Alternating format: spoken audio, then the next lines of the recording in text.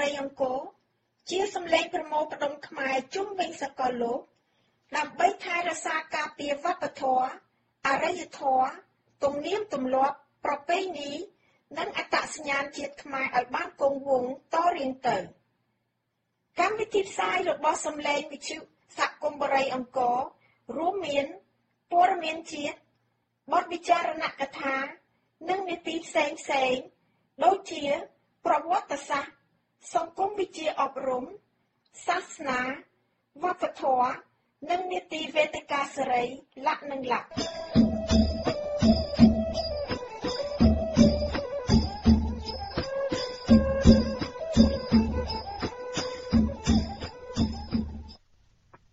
ខ្ញុំប្រកាសណាខ្ញុំបាទអោខំសៀមសូមនមស្ការចំពោះព្រះថេរានុថេរៈគ្រប់ព្រះអង្គជាទីសក្ការៈ សូមជម្រាបសួរលោកអ្នកនាងនិងមិត្តជាអ្នកស្ដាប់វិទ្យុសំឡេងសហគមន៍បរិង្គោជាទីគោរពរាប់អាន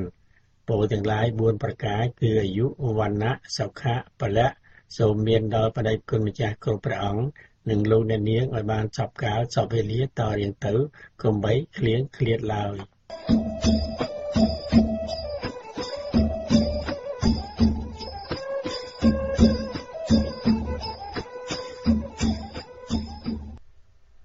បាទជាដំបូងនេះខ្ញុំបាទសូមជូនកម្មវិធីផ្សាយប្រចាំថ្ងៃពុធ10រោចខែប្រគុណឆ្នាំវកអត្តស័កពុទ្ធសករាជ2560ត្រូវនៅថ្ងៃទី22ខែមីនាគ្រិស្តសករាជ2017កម្មវិធីផ្សាយថ្ងៃនេះរួមមានព័ត៌មានជាតិព័ត៌មានអន្តរជាតិសេចក្តីរាយការណ៍អំពីសកម្មភាពខ្លះៗនៅសហគមន៍បរិង្គរនេតិអប់រំសិលធម៌ និងបិទកម្មវិធីផ្សាយដោយការអានព្រះត្រៃបិដករួចហើយតទៅនេះទៀតក៏សូមលោកអ្នកទទួលព័ត៌មានរឿងជាតិនិងអន្តរជាតិរាយការណ៍ដោយអ្នកនាងមានសម្បត្តិពីទីក្រុងភ្នំពេញចា៎អ្នកខ្ញុំសូមអរគុណនៅពេលនេះអ្នកខ្ញុំសូមជូនព័ត៌មានសំខាន់សំខាន់ប្រចាំថ្ងៃជាមុនសិនលោកផៃស៊ីផាន់នៅតែផ្ដល់បទសម្ភាសន៍ជាមួយអ្នកសារព័ត៌មានដដែលបើទោះបីជាមានការស្ដីបន្ទោសពីលោកហ៊ុនសែន អនុប្រធានគណៈបកប្រឆាំងថាសកម្មជនអាចប្រើប្រាស់ពាក្យស្លោកដូមេឃុំបំរើបកដាក់មេឃុំបំរើរាជសាលាឧទ្ធរបដិសេធការសុំនៅក្រៅឃុំរបស់លោកកឹមសុខកម្ពុជានឹងដឹងពីកាមេរ៉ាសមត្ថភាពពីក្រុមហ៊ុនកាល់តិចក្នុងករណីឃាតកម្មលោកកែមលីតៃវ៉ាន់ប្រកាសផលិតនាវាមុជទឹកដោយខ្លួនឯងក្រោយពីគ្មានប្រទេសណាហ៊ានលក់នាវាមុជទឹកឲ្យប្រទេសខ្លួន បន្ទាប់ពីខ្លាចភៀកគីចិន។ ចិនស្នើមានដំណោះស្រាយភាគីចំពោះចំនួនរវាងអ៊ីស្រាអែលនិងប៉ាឡេស្ទីននាងខ្ញុំសូមជូនព័ត៌មានពិស្ដាបន្ទាប់ពីមានការលើកឡើងពីលោកហ៊ុនសែនជាសាធារណៈក្រោយពីអ្នកនាំពាក្យទីស្តីការគណៈរដ្ឋមន្ត្រីប្រាប់កាសែត Daily អំពីការងារស្តីទីរបស់លោកប៊ិនឈិនចំនួនលោកសុកអាននោះលោកផៃស៊ីផានបានថ្លែងថាការថ្លែងជាសាធារណៈរបស់លោកហ៊ុនសែនមិនមែនគ្រាន់តែជាការទទួលខុសត្រូវរបស់អ្នកនាំពាក្យនោះទេ ទោះយ៉ាងណាក៏ដោយលោកផៃស៊ីផាន់អះអាងថាលោកនៅតែផ្ដល់បទសម្ភាសជាមួយអ្នកសារព័ត៌មានដដែលបើទោះបីជាមានការណែនាំពីលោកហ៊ុនសែនក៏ដោយអឺនេះជាការណែនាំមួយដែលគេប្រកបដោយវិជ្ជាជីវៈហើយសម្ដេចលោកបានថ្លែងតែប្រាប់ជាសាធារណៈមិនមែនគ្រាន់តែជាការទទួលខុសទៅរបស់អ្នកនាំពាក្យនោះទេក៏ប៉ុន្តែរាប់យ៉ាងរាល់មិនទៅព័ត៌មានទាំងអស់ដែលចូលរួមជាមួយនឹង អ្នកសរសេរច្បាប់ព័ត៌មានគួរតែរៀបចំទៅយ៉ាងស្រេចដើម្បីឲ្យមានការទទួលខុសត្រូវពីពិតប្រាកដក៏ខ្ញុំមានអ្វីដែលពីសម្ដែងការអរគុណចំពោះការណែនាំអត់ខ្ពស់ទេហើយចំណែកបន្ថែមទៀតនោះគឺអ្វីដែលលើកសម្ដេចបានជាកាសបានបញ្យល់ប្រាប់ដល់សាធារណជនយើង កុំឲ្យខ្វាយខ្វល់កុំឲ្យមានមតិសង្ស័យច្រើនគឺមានតែសម្ដេចចក្រមរតនជូនតែគឺជានាយករដ្ឋមន្ត្រីនោះគឺមានតែទុកចិត្តក្នុងការជ្រើសរើសក្នុងការតែងតាំងនៅក្នុងការបែងចែកការងារដើម្បីសម្រាប់ប្រជាពលរដ្ឋអឺខ្ញុំនៅតែបន្តអឺតែបើអីខ្ញុំទទួលបន្ទុកឯទៅការជំនាញអព័ត៌មាន ហើយការណែនាំដ៏ខ្ពង់ខ្ពស់របស់សម្ដេចហ្នឹងរឹតតែធ្វើខ្ញុំមានកម្លាំងចិត្តបន្ថែមទៀតជាមិនខ្ញុំអត់មានអីការអន់គុណចិត្តទេគឺអរគុណនៅក្នុងការណែនាំប្រកបដោយវិជ្ជាជីវៈនេះហើយហើយជាឱកាសមួយសម្រាប់ខ្ញុំលីកចម្លែកហើយត្រឡប់មកវិញនៅការងាររបស់ខ្ញុំដើម្បីធ្វើយ៉ាងម៉េចទៅផ្ដល់ទៅស្បកម្ពុជាដល់អ្នកសារព័ត៌មានដែលមានគុណភាពខ្ពស់ នៅព្រឹកថ្ងៃទី22ខែមីនានេះលោកហ៊ុនសែនបានលើកឡើងថាអ្នកនាំពាក្យទីស្តីការគណៈរដ្ឋមន្ត្រីលោកផៃស៊ីផានកុំចង់ល្បីនឹងនិយាយឲ្យលឿនជានាយករដ្ឋមន្ត្រីប្រតិកម្មរបស់លោកហ៊ុនសែនបានធ្វើឡើងបន្ទាប់ពីលោកផៃស៊ីផានប្រាប់កាសែត Daily អំពីការងារស្ដីទីរបស់លោកប៊ិនឈិនជំនួសលោកសុកអានខ្ញុំការពិតទៅគឺខ្ញុំអត់ចង់និយាយតាក់ទិននឹងរឿងស្អីទេភាពធុញទ្រាន់របស់ខ្ញុំលើរឿងនយោបាយវាច្រើនណាស់ហើយខ្ញុំមិនចង់និយាយអីក៏ប៉ុន្តែ បើយើងមិននិយាយវានៅតែមានការផន់ច្រឡំថ្ងៃនេះកម្ពុជាដេលីបានចុះផ្សាយថាมันមានអ្វីថ្មីឡើយគណៈការងារទាំងអស់របស់លោកសុកអានត្រូវបានប្រគល់ឲ្យលោកប៊ិនឈិនហើយបានដកស្រង់សម្ដីរបស់អេដាមផៃសុផានខ្ញុំមិនដឹងថាអេដាមផៃសុផានបានពីតាណាមក យ៉ាងបានថាធ្វើអ្នកនាំពាក្យកុំចង់ល្បីមើលស៊ីសងនៅណែខ្ញុំបានបញ្ចប់រឿងមួយហើយខ្ញុំសូមជម្រាបថាពេលដែលសម្ដេចវិវលបញ្ញាបរណភាពខ្ញុំនៅទីនោះខ្ញុំហើយអ្នកស្រីពុទ្ធោ3ដងនៅដំណាក់កាលចុងក្រោយ នៅវេលាម៉ោង7 32នាទីម៉ោងពេលកាត់ត្រូវនឹងម៉ោង6 32នាទីម៉ោងភ្នំពេញយើងយកម៉ោងភ្នំពេញប៉ុន្តែម៉ោងពេលកាត់នៅពេលដែលគាត់បរណភាពដើម្បីបញ្ជាបញ្ជានៅបញ្ហាថាតើអ្នកណានឹងធ្វើរដ្ឋមន្ត្រីទីស្តីការគណៈរដ្ឋមន្ត្រីខ្ញុំបានបញ្ជាមកទីក្រុងភ្នំពេញឲ្យវាយនៅសេចក្តីសម្រេចរបស់ខ្ញុំមួយ ក្នុងការប្រគល់ភារកិច្ចឲ្យអេអាដាមប៊ិនឈិតធ្វើជារដ្ឋមន្ត្រីស្ដីទីដើម្បីបញ្ចប់ នៅការម៉ៃថាអ្នកនេះធ្វើរដ្ឋមន្ត្រីជំនួសសម្ដេចបវរអាវិបុលបញ្ញាសុកអាប៉ុន្តែមិននឹកស្មានថា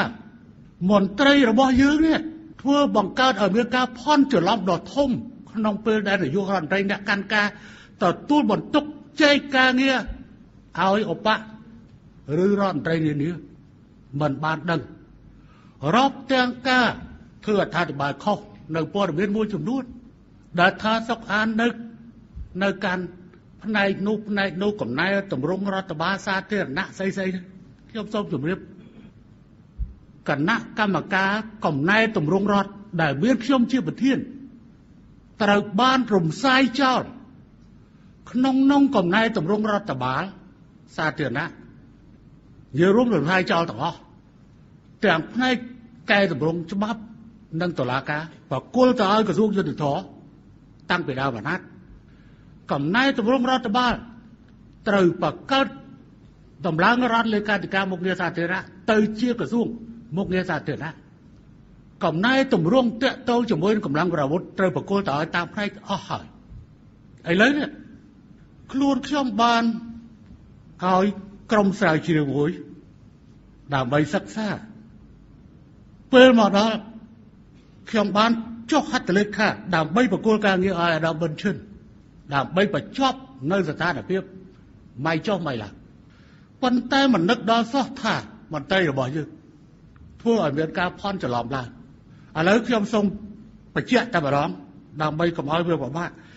វានៅសល់តែអាការចេញសេចក្តីសម្រេចព្រោះធម្មតាត្រូវមានការបែងចែកភារកិច្ចប្រគល់ការងារឲ្យឧបនាយករដ្ឋមន្ត្រី និងរដ្ឋមន្ត្រីទេសរដ្ឋមន្ត្រីទទួលបន្ទុកបេសកកម្មពិសេសតែប៉ុណ្ណោះវាត្រូវមានអាហ្នឹងបើកែមនុស្សវាត្រូវកែអាសក្តិសម្បត្តិចឹងអាហ្នឹងមួយទៅមួយទៀតវាតកតងទៅនឹងលិខិតបទកថាបន្ទាប់ពីការកែអនុហើយលិខិតបទកថាមួយត្រូវចេញជាបរិយាក្រិតឬជាអនុក្រិតឥឡូវខ្ញុំសូមនិយាយកិច្ចការតកតងនឹងការកាត់ទោសខ្មែរក្រហម ក្រមការងារនៅដដែលបង្កើនមនុស្សខ្លះនិងឯកឧត្តមប៊ិនឈិនទទួលការងារនេះជំនួសឯកឧត្តមសុខានសម្ដេចវិវលអឺបញ្ញាសុខានព្រោះការងារនេះជាការងារអន្តរវិស័យមួយហើយដែលតំណាក់តំណងរវាងកម្ពុជាជាមួយនឹងអង្គការសហប្រជាជាតិផងសម្រាប់អាញាធរអប្សរាអញ្ចឹងបានថា សោកស្ដាយដែលអាដាមផៃសុផានគាត់ធ្វើរឿងនេះអាញាធរអប្សរាដោយសារវាស្ថិតនៅក្នុងក្របខ័ណ្ឌនៃតេតិនជាមួយនឹងក្រសួងវប្បធម៌វិចិត្រសិល្បៈយើងត្រូវប្រគល់អាញាធរអប្សរាឲ្យទៅនៅក្រោមការគ្រប់គ្រងរបស់ក្រសួងវប្បធម៌និងវិចិត្រសិល្បៈហើយប្រធានអាញាធរអប្សរាគឺលោកជុទាវភឿងសក្តា នេះអាញាធរអប្សរាមើលមិនតន់ស៊ីសងផងចេញរួចហើយរឿងនឹងអាចទៅទៅរួចមន្ត្រីរបស់យើងអត់វិន័យអត់វិន័យដែលខ្ញុំសូមនិយាយទៅត្រង់ចុះគុណសម្បត្តិច្រើនហើយក៏ប៉ុន្តែគុណវិបត្តិធ្វើឲ្យមានរឿងគួរគួរតែខ្ញុំបញ្ចប់សង្កថាប័ណ្ណហើយប៉ុន្តែវាវាអញ្ចឹងបើមិនបកបើខ្ញុំមិនបកស្រាយទុកឲ្យគាត់បកស្រាយណាជឿណាជឿមើលស៊ីសងមកនៅដែរសម្រាប់អាញាធរព្រះវិហារ អាញាធរព្រះវិហារគឺមានប្រធានរួចហើយគឺអាដាមជួយភឿនប៉ុន្តែមុននេះវានៅចំណុះទីស្តីការគណៈរដ្ឋមន្ត្រីឥឡូវដើម្បីសុគតភាពរវាងអាញាធរអប្សរានិងអាញាធររមណីយដ្ឋានធម្មជាតិនៃភាសាព្រះវិហារគឺបកគល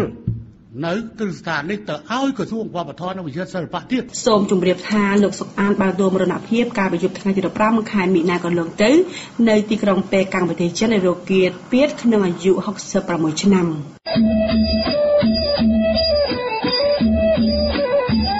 អនុប្រធានគណៈបកប្រឆាំងថាសកម្មជនអាចប្រើប្រាស់ពាក្យស្លោកដូរមេឃុំបំរើបកដាក់មេឃុំបំរើរាជ មន្ត្រីជាន់ខ្ពស់គណៈបកប្រឆាំងលើកឡើងថាខ្លួនមិនបានដកចេញឬហាមឃាត់មិនឲ្យសកម្មជនយកពាក្យស្លោកដូរមេឃុំបំរើបកដាក់មេឃុំបំរើរាជទៅប្រើប្រាស់ឡើយផ្ទុយទៅវិញសកម្មជនគណៈបកប្រឆាំងអាចប្រើប្រាស់ពាក្យស្លោកនេះក្នុងយុទ្ធនាការឃោសនាបោះឆ្នោតនាពេលខាងមុខការប្រកាសជាថ្មីបន្ទាប់ពីគណៈបកកណ្ដាលអំណាចប្រកាសជំហរថាខ្លួននឹងប្តឹងគណៈបកប្រឆាំងរីឯអ្នកវិភាគយល់ឃើញថាការប្រើប្រាស់ផ្លូវច្បាប់ ដើម្បីបង្ខំឲ្យឈប់ប្រើពាក្យស្លោកនេះគឺជាការខាត់បងសម្រាប់គណៈបកកណ្ដាលអំណាចអនុប្រធានគណៈបកប្រឆាំងលោកអេងឆៃអៀងបានថ្លែងថារាល់ការប្រើប្រាស់ពាក្យស្លោកទាំងអស់រួមទាំងពាក្យស្លោកដូរមេឃុំបំរើបកដាក់មេឃុំបំរើរាជ ដូចជាផ្លូវចក្រស៊ីស្ដើងឬផ្លូវស្រុកខ្មែរធ្វើជាប់រហូតជាដើមដែលត្រូវបានពលរដ្ឋចងចាំនិងយកមកនិយាយតៗគ្នារហូតដល់សប្តាហ៍នេះគឺដោយសារតែពាក្យស្លោកទាំងនោះឆ្លុះបញ្ចាំងអំពីទស្សនវិជ្ជាពិតក្នុងសង្គមមិនអាស្រ័យមកពីគណៈបកប្រឆាំងឡើយលោកបន្តថាប្រសិនបើការប្រើប្រាស់ពាក្យស្លោកមិនបង្ហាញអំពីសង្គមជាក់ស្ដែងនោះ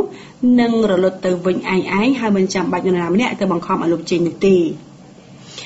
សមាជវិសាមញ្ញកាលពីថ្ងៃទី2ខែមីនាក្រុមមន្ត្រីគណៈបកប្រឆាំងបាននាំគ្នាស្រ័យពាក្យស្លោកដូរមេឃុំបំរើបកដាក់មេឃុំបំរើរាជ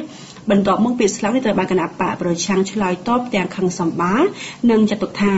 ជាការប្រមាថមួយមកលើមេឃុំនៅទូទាំងប្រទេសកម្ពុជាគណៈបកក្រមណៃក៏ត្រៀមប្តឹងគណៈបកប្រឆាំងនៅកាន់តុលាការផងដែរប្រសិនបើមិនដូរពាក្យស្លោក សាលាឧទ្ធរបដិសេធការសុំនៅក្រៅឃុំរបស់លោកកឹមសុខសាលាឧទ្ធរនៅព្រឹកថ្ងៃទី22ខែមីនានេះបានសម្រេចបដិសេធនៅបណ្ដឹងសុំនៅក្រៅឃុំរបស់មេធាវីការពីគ្នាឲ្យលោកកឹមសុខក្រោមហេតុផលពីរយ៉ាងគឺដើម្បីបញ្ចប់បទល្មើសផ្សេងៗទៀតដែលអាចកើតឡើងសាជាថ្មី និងរក្សាជនត្រូវចោទឲ្យតុលាការមេធាវីការពីក្តីឲ្យលោកកឹមសុខលោកជួងជុងងីបានថ្លែងប្រាប់ក្រុមអ្នកសារព័ត៌មានក្រោយពីសាលាឧទ្ធរសម្រេចដីកាថា លោកនឹងប្តឹងសារទុកទៅកាន់តុលាការកំពូលដើម្បីឲ្យលោកកឹមសុខបាននៅក្រៅឃុំបណ្ដោះអាសន្នពីមនុស្សទៅរបស់ខ្ញុំហើយរក្សាលោកកឹមសុខនៅក្នុងការគុំខ្លួនជាបណ្ដោះអាសន្នដដែលនឹងឲ្យតាមមូលហេតុអ្វីដែរគួរឲ្យអឺតឡាការសំអាងពីរចំណុចទី1សំអាងថាដើម្បីបញ្ចប់បទល្មើសកុំឲ្យកើតឡើងជាថ្មីនិងដើម្បីទី2រក្សាជនក្រចត់ទុកជូនតឡាការចាត់ការតាមនីតិវិធី ហើយសម្រាប់ការពិនិត្យរបស់ខ្ញុំសំអាងពីរនោះគឺអត់ត្រឹមត្រូវទេការដែលសំអាងថាដើម្បីបញ្ចប់បទល្មើសឬក៏បង្ការបទល្មើសកុំឲ្យកើតជាថ្មីសំអាងបែបនេះគឺបានន័យថាតឡាការសន្មតទុកជាមុនថាពិតជាមានបទល្មើសមែននៅក្នុងបទចោតពីបទញញងឲ្យប្រព្រឹត្តបទឧក្រិដ្ឋនិងបទបរហាគេជាសាធារណៈបទពីរនេះគឺមហាជនឃើញមានការចាប់ប្រកាន់ភ្លាមមហាជនអត់អាចសន្និដ្ឋានបានភ្លាមថាពិតជាមានបទល្មើសទេ ពីព្រោះអាបទញញងនេះវាមិនបានបង្កជាសនកម្មតើចេញពីការវិភាគតាមវិទ្យាសាស្ត្រសេរីរបស់លោកកំសុកទេអញ្ចឹងការដែលថាដើម្បីបញ្ចប់បទល្មើសឬក៏បង្ការបទល្មើសកុំឲ្យកើតជាថ្មីគឺសំអាងបែបនេះបានន័យថាសន្មតថាមានបទល្មើសកើតឡើងហើយបទចោតនេះវាខុសពីបទឃាតកម្មឬក៏បទរំលោភឬក៏បទជួញដូរគ្រឿងញៀនបទឃាតកម្មកាលណាមានមនុស្សស្លាប់គឺយើងអាចសន្មតទុកជាមុនថាពិតជាមានបទល្មើសមែន បទជួញដូរគ្រឿងញៀនកាលណាយើងរកឃើញគ្រឿងញៀននៅកន្លែងណាមួយយើងអាចសន្មតទុកជាមុនបានប៉ុន្តែដោយឡែកបទចោតពីបទញញងបែបនេះគឺมันអាចសន្មតទុកមុនជាថាពិតជាមានបទល្មើសទេទី2សម្អាងរបស់តឡាការថាដើម្បីរក្សាជំនឿចាត់ទុកជូនតឡាការតាមនីតិវិធីលោកកំសត់គាត់ជាវិស័យហើយគាត់បង្ហាញចំហតាំងពីដើមទីថាគាត់អត់រតនាទេអញ្ចឹងចំហគាត់ក៏អត់រត់ទេពីព្រោះគេពិតពេលដែលអឺ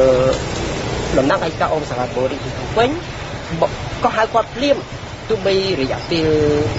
តែ3 4ខែប៉ុណ្ណោះគាត់សុំវិភាគហើយដំណាក់ឯកមិនវិភាគគាត់គាត់នៅតែចូលទៅតុលាការចឹងគាត់បង្ហាញចំហច្បាស់ថាគាត់មិនរត់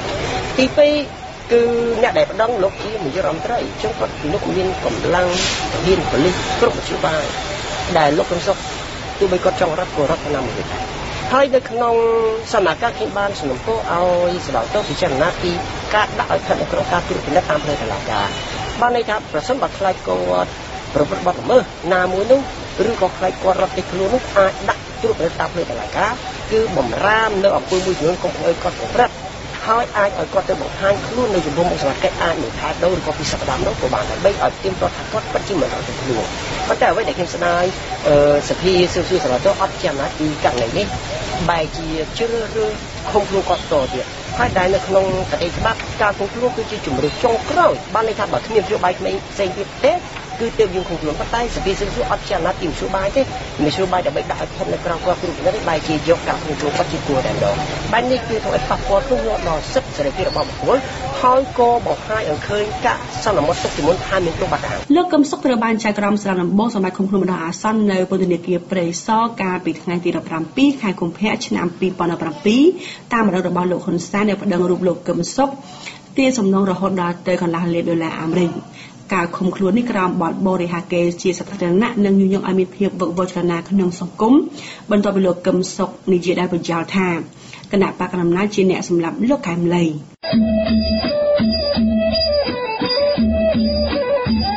កម្ពុជានឹងដឹងអំពីកាមេរ៉ាសុវត្ថិភាពពីក្រុមហ៊ុនកាល់តិចក្នុងករណីឃាតកម្មលោកកែមលីនៅថ្ងៃនេះលោកសោមៀងសៀអតីតប្រធានគណៈបកប្រឆាំងបានសរសេរក្នុង Facebook ថា នៅថ្ងៃទី31មិនិនាឆ្នាំ2017ខាងមុខនេះ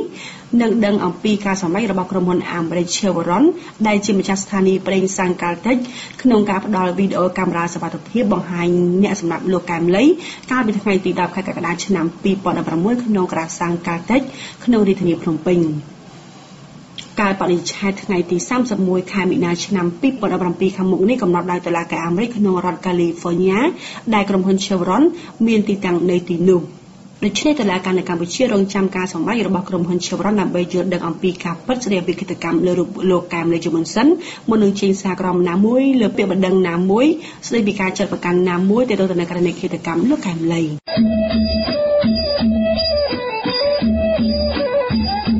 សូមងាកមកចាប់អារម្មណ៍ព័ត៌មានអន្តរជាតិវិញ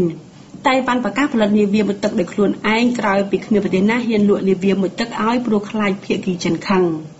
នៅចម្ងាយត្រឹមតែ120ម៉ៃពីចិនកោះតៃវ៉ាន់បានទទួលរងការគំរាមកំហែងលុកលុយពីទីក្រុងប៉េកាំងចាប់តាំងពីមានការវាយបំបែកខ្លួនចេញពីចិនដីគោកក្នុងឆ្នាំ1945ស្របពេលដែលកម្លាំងយោធាចិនកើនឡើងខ្លាំងក្នុងរយៈពេលប្រមាណឆ្នាំនេះការគំរាមកំហែងក៏បានកើតឡើងខ្លាំងដែរខណៈតៃវ៉ាន់ចាំបាច់ត្រូវតែបង្កើននាវាមួយទឹកផ្ទាល់ខ្លួនដែលវាជាអាវុធការពារកោះតៃវ៉ាន់ គួរបញ្ជាក់ផងដែរថាយោងតាមគេហទំព័រ Popular ក្នុងរយៈពេលបច្ចុប្បន្ននេះកងទ័ពជើងទឹកតៃវ៉ាន់មាននាវាមួយទឹកប្រមាណជា4គ្រឿងប៉ុណ្ណោះគឺនាវាមួយទឹកថ្មីបំផុតមាន2គ្រឿង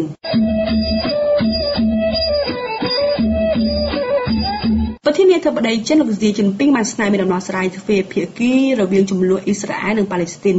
ដោយលោកលើកឡើងថាវាគឺដើម្បីរក្សាសន្តិភាពពិភពលោក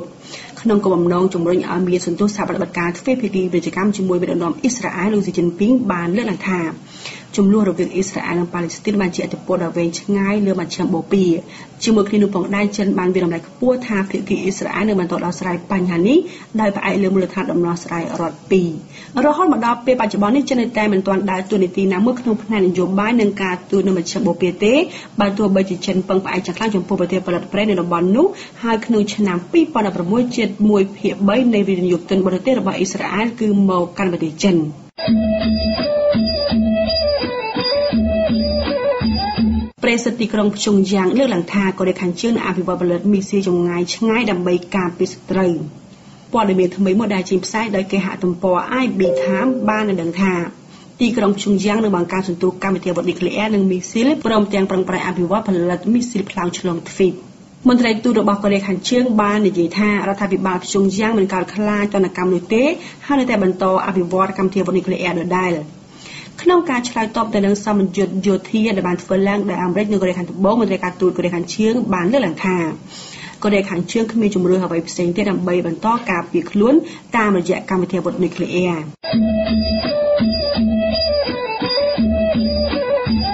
ចាសសម្រាប់ព័ត៌មានជាតិព័ត៌មានអន្តរជាតិថ្ងៃនេះបានឈានចូលមកដល់ទីបញ្ចប់ហើយនាងខ្ញុំមានសម្បត្តិសូមអរគុណសូមគោរពលា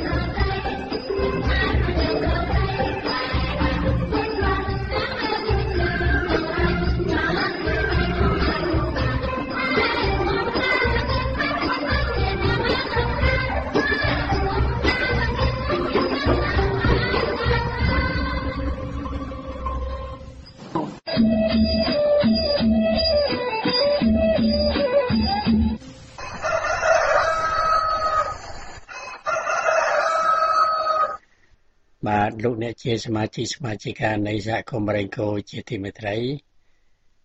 តទៅនេះខ្ញុំបាទសូមធ្វើសេចក្តីរាយការណ៍អំពីសកម្មភាពខ្លះៗនៅសហគមន៍រ៉េងកូពិតណាស់ថ្ងៃនេះខ្ញុំបាទបានវិលមកកាន់បរិយាកាសវិញហើយបន្ទាប់ពីបើកឡាន6ម៉ោងមកតាមផ្លូវងុយដេកខ្លះខ្លះក៏ចូលសម្រាកនៅរ៉េសេរីគេងលក់មួយសន្ទុះក៏បានតដំណើរមកទៀតដោយសវត្ថិភាពបាទមិនអីទេ6ម៉ោងទៅ6ម៉ោងមក អស់2ថ្ងៃ3ថ្ងៃនៅថ្ងៃចូលមន្ទីរពេទ្យបាទឥឡូវស្រួលបួលហើយពុំមានរោគគេព្យាទីអ្វីទេឃើញថាជាឆ្លាស់សាទទាំងភារយាទាំងខ្ញុំបាទចាស់ចាស់ហើយខំថែរក្សាខ្លួនដោយសារចំណី organic នៅបរិយាអង្គរបន្លែរបស់យើងពងមន់របស់យើងស្អីស្អីរបស់យើងក៏វាសុខសាន្តជាតារារៀងមក បាទនិយាយអំពីចំណីចំណុកនៅបរិយាអង្គរមិនមែនសត្វតែបរិយាអង្គរទាំងអស់ទេក៏គង់មានអាស្រ័យវរិទ្ធកៅសាន នាមដើមឈិមបុណ្ណរា នាងបានផ្ដល់នៅចំណីមានសពមានគ្រប់គ្រប់សពតែកាលខ្ញុំបាទទៅរដ្ឋវិទ្យានោះ នាងផ្ដល់តាំងពីបង្គាក្រៀមផ្លែស៊ូផ្លែផ្លែប៉ោមផ្លែអីអីសពគ្រប់នឹង ត្រីសាច់អ្វីមកដូចជាលោកចែមយាយអ្នកស្រីយាយចំណានដែរអ្នកស្រីបានមានប្រសាសន៍ថាធ្វើបន់នឹងបងនឹងមនុស្សចាស់គង់តែបានបន់ដូចថាធ្វើបន់នឹងប្រសងដែរបាទពេលណាធ្វើបន់នឹងចាស់ពទាចាអ្នកមានសិលមានធម៌មានអានឹងមានសេចក្តីស្មោះត្រង់នឹងគឺប្រកាសជាបានបន់ចឹងមែនហើយតាមធម៌ព្រះលោកសម្ដែងមកសូមអរគុណណាស់គឺថាច្រើនមុខ តាំងពីបាយមន់ក៏សំទោឲ្យដែរបាទឃើញថាជួយអបស្ទប់ចំពោះដល់បងបងដែលបានខំថែរក្សាបរិយអង្គរនេះសូមនាងលោកកែវសឿនបុរិតកែវសានហៅសឿននោះក៏សូមឲ្យបានសេចក្តីសុខសេចក្តីចម្រើនរុងរឿងតរៀងទៅលោកបុរិតកែវសានស្អីអឺជាមនរានេះតែងតែផ្ដល់ជានិច្ចកាល មកដល់យើងខ្ញុំពុំដែលដាច់ដូចជាលោកចែមយ៉ៃអ្នកស្រីយ៉ៃចំណានពីរដ្ឋចរចាចឹងដែរសូមអរគុណបាទអំពីសកម្មភាពនៅសហគមន៍រ៉ែងកោ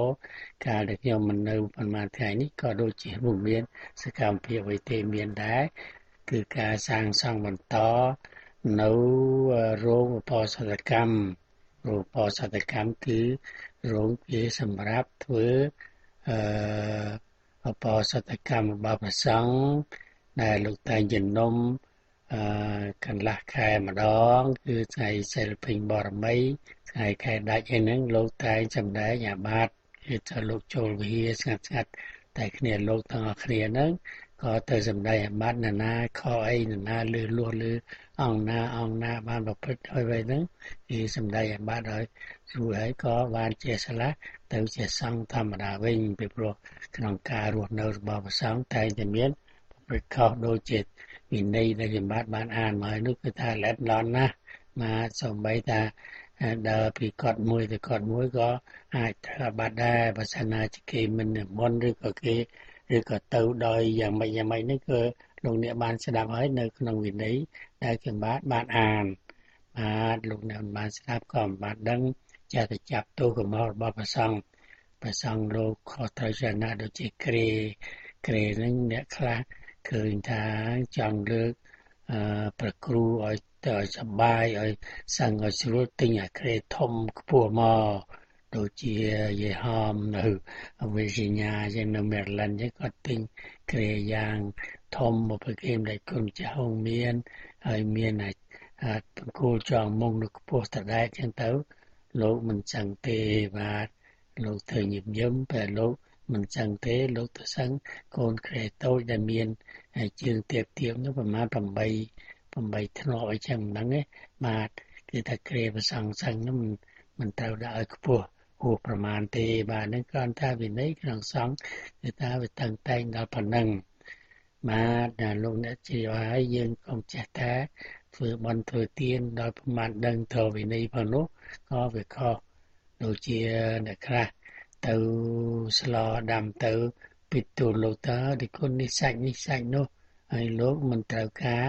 ឲ្យលោកអ្នកប្រាប់អញ្ចឹងទេបាទតែប្រាប់ទៅលោកប៉ះដែលសាច់ដែលលោកមិនត្រូវឆាន់លោកមិនឆាន់ទេបាទដូចជាសាច់ប្រមាណមុខ10មុខនៅសាច់ខ្លាសាច់ស្អីៗប្រមាណនោះ លោកមិនឆាន់ទេបាទបាទលោកអ្នកស្ដាប់ជាទីគោរពរាប់អាននៅការដែលអ្នកដឹកគ្រោះមកក៏មិនឃើញដឹកមកទៀតអាមេរិកចាញ់និយាយផកកុហកចឹងដែរបាទឥឡូវនេះឮថាថ្ងៃនេះនឹងដឹកមកដល់ហើយខ្ញុំបាទរងចាំមើលកាលណាដឹកគ្រោះមកយើងក៏នឹងវារៀបទៅលើចំណតរថយន្តនោះខ្លះទៅតាមជារោងនោះខ្លះ ដើម្បីនឹងចាក់ស៊ីម៉ងបង្ហើយឲ្យវាពេញកុំឲ្យវានៅកឆែកកឆោតចឹងមិនល្អមើលទេបាទខ្ញុំបាទសូមចាយលុយកាក់បន្តទៅទៀតហើយគឺមិនចាយតែណាទេចាយនៅក្នុងបរិយាអង្គររបស់យើងធ្វើឲ្យវាល្អឲ្យវាស្អាតឲ្យវាសមរម្យបាទពីព្រោះទឹកផោកបបាច់បបាច់វាមិនទាន់ស្រួលនៅឡើយទេបាទនៅកន្លែងខ្លះឬកន្លែងដាំបាយជាដើមមិនទាន់បានចាក់បានអីត្រូវតែចាក់ត្រូវតែធ្វើឲ្យវាស្អាតសម ឡើងវិញបាទឲ្យសមរម្យជាកន្លែងរបស់យើងថាលុយកានឹងចាយនៅក្នុងសហគមន៍បរិង្គោរបស់លោកអ្នក1300នឹងបែបបែបទៅទិញប្រេងខ្លះទិញនេះខ្លះជួសជុលត្រាក់ទ័រខ្លះហើយទៅតែក្នុងការងាររបស់បរិង្គោនឹងវាចង់អស់រលីងទៅហើយស្រ័យនេះសូមលោកអ្នកអញ្ជើញមក នៅក្នុងថ្ងៃ ទី28 29 30ខែមេសាខាងមុខនេះចាប់ចាប់ហើយអញ្ជើញមកជួយអបអរសាទរក្នុងបុណ្យពុទ្ធាពិសេសដែលនិមន្តព្រះអង្គថ្មពីប្រទេសកម្ពុជាយើងមកប្រដេស្ថាននៅបរិយាអង្គរដោយព្រះគុំចាស់គុណទុយវត្តចេតពុនកែមរារាម នៅក្រុងដាឡារដ្ឋតិចសាលោកនឹងដង្ហែមក កាន់នៅក្នុងថ្ងៃនោះហើយក៏ធ្វើពុទ្ធាពិសេស បណ្ដោយជាមួយគ្នានោះតែម្ដងនៅក្នុងឱកាសចូលឆ្នាំនឹងជាមហាឧឡារិកជោគជ័យសេរីមង្គលបលសុខគ្រោះការដល់សហគមន៍រែងកោរបស់លោកអ្នកបាទហើយយើងខ្ញុំក៏សូមពាវនាវឲ្យលោកអ្នកជួយបន្តការគ្រប់គ្រងតទៅទៀតដោយបង់វិភាគទានឲ្យបានគ្រប់1300មកលោកគឺថាបង់បន្តិចបន្តិចមក មកលោកឈប់ត្រឹមប៉ុណ្ណឹងបានសេចក្តីថាវាអសកម្មទៅហើយហើយអ្នកដែលបងក៏នៅបន្តទៅទៀតវាដូចជាមិនសូវយុត្តិធម៌មកគឺថាយើងសហគមន៍យើងស្មើភាពគ្នាយើងធ្វើអ្វីធ្វើដូចគ្នាបាទមកលោកអ្នកចារណាក៏បន្តមកបន្តិចបន្តិចក៏បន្តដែរមួយរៀលក៏មិនថាពីររៀលក៏មិនថាបាទប៉ុន្តែធ្វើយ៉ាងណាឲ្យគ្រប់បាន1300មកបាទ ទើបយើងធ្វើការបានសម្រេចកិច្ចការយើងបានសម្រេចធំធំអស់ទៅហើយគឺថាយើងមានផ្ទះយើងមានរោងរកសាយើងមានរថយន្តមានត្រាក់ទ័រមានគ្រឿងចាក់យើងបានឈូសឆាយដី យើងបានដាំទន្លាប់ យើងបានជាព្រះពុទ្ធរូបតាមពាក្យសន្យាយើងបានដាំដំណាំផ្សេងផ្សេងគ្រប់ហើយក៏ប៉ុន្តែការងារនឹងនៅបន្តទៅមុខទៀតដោយយើងត្រូវ ពង្រីកទីដីដាំដំណាំឲ្យបានធំទូលំទូលាយយើងពង្រីកបានប្រហែលជា7អេកតាទៀតហើយក្នុងកណ្ដាលមកប្រហែលឆ្នាំនេះបាទឃើញថាយើងបានឈូសឆាយកាត់ឈើក៏ស្លាស់ស្លុំមកហើយនៅតែកោះគល់បញ្ហាកោះគល់ហ្នឹងវាត្រូវការប្រេងវាត្រូវការជួសជុលត្រាក់ទ័រវាត្រូវការជួលដែលបើកបរបាទហើយនេះហើយបានជាបើសិនជាយកទៅ1300ហ្នឹង វាអស់ទៅក៏វាទាំងស្ដោកទៅប៉ុណ្ណឹងបាទនេះមិនមែនជា bankruptcy មិនមែនអីទេដីនៅជាដីផ្ទះនៅជាផ្ទះត្រាក់ទ័រនៅជាត្រាក់ទ័រក៏ប៉ុន្តែវាបញ្ចូលចោលបើសិនណាជាគ្មានប្រេងចាក់វាតទៅទៀតទេបាទសូមអញ្ជើញមកកំខាន ដើម្បីជូនពរជ័យសិរីមង្គលគ្នាទៅវិញទៅមកលោកអ្នកដែលធ្លាប់មកហើយអញ្ជើញមកទៀត លោកអ្នកដែលមិនធ្លាប់បានមកក៏អញ្ជើញមកនិមន្តព្រះសង្ឃពីវត្តលោកអ្នករៀងរៀងខ្លួនមកតាមដំណើរដែលលោកអ្នកអាចដឹកលោកមកបានបាទជួនណាព្រះសង្ឃអង្គខ្លះលោកបើករថយន្តខ្លួនលោកផងក៏និមន្តមកបាទប៉ុន្តែរឿងបើករថយន្តនេះខ្ញុំកណាខ្ញុំបាទដូចជាមិនទាន់ចូលសុខនៅឡើយទេ គឺថាដូចជាវត្តពុទ្ធការាមគ្មានប្រសងអង្គណាបើកទេប៉ុន្តែមានប្រសងលោក ឆ្លៀតរៀនឡានចឹងដែរបាទឃើញថាចេះតែខំប្រឹងទៅប្រឹងសឹកហើយចេះខំចឹងទៅបាទអាមិនអីទេបាទធ្វើម៉េចការអនុគ្រោះទៅតាមធម៌វិន័យយកមកជជែកវិញនេះក៏វាមិនមានដែរគឺថាសម័យព្រះវាគ្មានឡានហើយវាគ្មានវិន័យណានឹងបង្ខំបង្កើតឡើងទេក៏ប៉ុន្តែមានរទេះដែរព្រះសង្ឃមិនជិះរទេះទេបាទមិនបរទេះទេបាទលោកមិនឲ្យបរទេបាទ គឺថាវាខុសនឹងខុសវិន័យបាទសេចក្តីរាយការណ៍របស់យើងបាទសូមសង្កេតបែបខ្លីត្រឹមប៉ុណ្ណេះពេញមានអ្វីជាធំដុំប្រមាថទេក៏ប៉ុន្តែសកម្មភាពចេះតែមានរាល់ថ្ងៃឥឡូវនេះគេបាទកំពុងតែបិទសម្បត្តិដាក់ទស្សនីយដៃពីឲ្យទៅលោកអ្នកជាមួយនឹងកម្មវិធីហើយសូមមេត្តា